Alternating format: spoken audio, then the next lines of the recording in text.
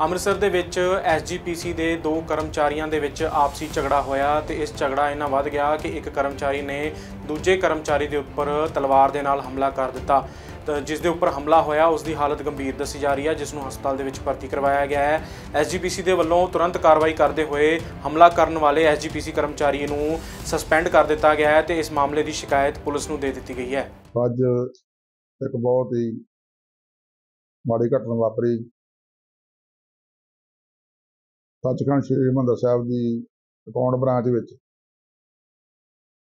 ਦੋ ਮੁਲਾਜ਼ਮ ਆਪਸ ਵਿੱਚ ਝਗੜ ਪਏ। ਜਿਹਦੇ ਨਾਲ ਇੱਕ ਮੁਲਾਜ਼ਮ ਦੇ ਜਿਹਦਾ ਨਾਮ ਦਰਬਾਰਾ ਸਿੰਘ ਅਕਾਊਂਟਸ ਕਲਰਕ ਆ ਉਹਦੇ ਕਾਫੀ ਗੰਭੀਰ ਸੱਟ ਲੱਗੀਆਂ। ਅਸੀਂ ਇਹਦੀ ਪੜਤਾਲ ਜਿਹੜੀ ਇਮੀਡੀਏਟਲੀ ਕਹਿ ਕਹਿਤਾ ਚੀਫ ਨੂੰ ਕਿ ਪੜਤਾਲ ਕਰਕੇ ਇਹਦੀ ਰਿਪੋਰਟ ਕੀਤੀ ਜਾਵੇ। ਕਿਉਂਕਿ ਜਿਹੜਾ ਵੀ ਮੁਲਾਜ਼ਮ, ਜਿਹਨੇ ਵੀ ਮੁਲਾਜ਼ਮ ਨੇ ਇਹ ਕਾਰਵਾਈ ਕੀਤੀ ਆ, ਉਹਨਾਂ ਨੂੰ ਅਸੀਂ ਤੁਰੰਤ ਪ੍ਰਭਾਵ ਨਾਲ ਸਸਪੈਂਡ ਕਰ ਰਹੇ ਹਾਂ। ਬਾਕੀ ਜਿਹੜੀ ਵੀ ਪ੍ਰਸ਼ਾਸਨਿਕ ਕਾਰਵਾਈ ਹੋਊਗੀ, ਉਹ ਅਸੀਂ ਪੁਲਿਸ ਨੂੰ ਵੀ ਕੇਸ ਦੇਵਾਂਗੇ ਕਿ ਪੁਲਿਸ ਵੀ ਇਹਦੀ ਕਾਰਵਾਈ ਤਫਤੀਸ਼ ਕਰਕੇ ਕਰੇ। ਇਹੋ ਜਿਹੇ ਮੁਲਾਜ਼ਮ ਤੇ ਕੋਈ ਲਿਹਾਜ਼ ਨਹੀਂ ਕੀਤਾ ਜਾਊਗਾ ਜਿਹੜਾ ਸਾਡੇ ਪ੍ਰਬੰਧ ਨੂੰ ਖਰਾਬ ਕਰਦਾ, ਜਿਹੜਾ ਸਾਡੇ ਪ੍ਰਬੰਧ ਨੂੰ ਵਿਗਾੜ ਰਿਹਾ। ਚਾਹੇ ਕੋਈ ਵੀ ਮੁਲਾਜ਼ਮ ਉਹਦੇ 'ਚ ਇੱਕ ਮੁਲਾਜ਼ਮ ਇਨਵੋਲਵ ਆ ਚਾਹੇ ਦੋ ਆ ਜਾਂ ਤਿੰਨ ਜਿੰਨੇ ਵੀ ਮੁਲਾਜ਼ਮ ਇਨਵੋਲਵ ਹੋਏ ਉਹਨਾਂ ਦੇ ਖਿਲਾਫ ਸਖਤ ਕਾਰਵਾਈ ਕਰਾਂਗੇ।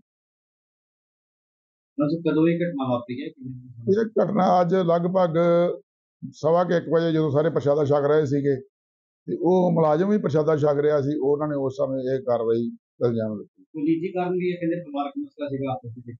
ਇਹ ਜੋ ਮੈਨੂੰ ਪਤਾ ਲੱਗਾ ਕਿ ਇਹ ਉਹਨਾਂ ਦੇ ਨਿੱਜੀ ਪਰਿਵਾਰਕ ਝਗੜਾ ਸੀ ਪਿੰਡ ਦਾ ਘਰ ਦਾ ਝਗੜਾ ਸੀਗਾ। ਤਾਂ ਉਹ ਪਿੱਛੋਂ ਹੋਸ- ਘਰੋਂ ਵੀ ਮੈਨੂੰ ਪਤਾ ਲੱਗਿਆ ਕਿ ਇਹ ਤਕਰਾਰਬਾਜ਼ੀ ਚੱਲਦੀ ਆਈ ਹੈ ਕਿ ਉਹ ਆ ਕੇ ਇੱਥੇ ਉਹਨਾਂ ਨੇ ਇਸ ਘਟਨਾ ਨੂੰ ਅੰਜਾਮ ਦਿੱਤਾ ਜੋ ਬਹੁਤ ਮੰਦਭਾਗੀ ਘਟਨਾ ਆ। ਅਸੀਂ ਇਹਦੀ ਤੁਰੰਤ ਤਫਤੀਸ਼ ਕਰਕੇ ਕਾਰਵਾਈ ਕਰਾਂਗੇ। ਇੱਕੋ ਬ੍ਰਾਂਚ ਕੰਮ ਕਰਦੇ ਦੋਵੇਂ ਇੱਕੋ ਜਗ੍ਹਾ ਕੰਮ ਕਰਦੇ? ਨਹੀਂ ਇਹ ਦੋਵੇਂ ਹੀ ਦਫ਼ਤਰ ਦਰਬਾਰ ਸਾਹਿਬ ਹੈ ਇੱਕ ਅਕਾਊਂਟ ਬ੍ਰਾਂਚ ਆ ਦੂਜਾ ਲਾਗੇ ਨਾਲ ਹੀ ਬ੍ਰਾਂਚ ਜਨਰਲ ਬ੍ਰਾਂਚ ਉੱਚ ਕੰਮ ਕਰ ਰਿਹਾ ਤੇ ਇਹ ਇਹ ਕਿਉਂਕਿ ਡਿਊਟੀ ਨਾਲ ਨਾਲ ਆ ਇਸ ਕਰਕੇ ਇੱਕ ਦੂਜੇ ਨੂੰ ਰੋਜ਼ਾਨਾ ਮਿਲਦੇ ਵੀ ਆ ਤੇ ਪਰਿਵਾਰਕ ਰਿਸ਼ਤੇ ਵੀ ਆ। ਨਾਲ। ਹਾਲਤ ਕੀ ਹੋਈ ਹੁਣ ਤੱਕ? ਅਜੇ ਤੱਕ ਤੇ ਹਾਲਤ ਸੀਰੀਅਸ ਆ।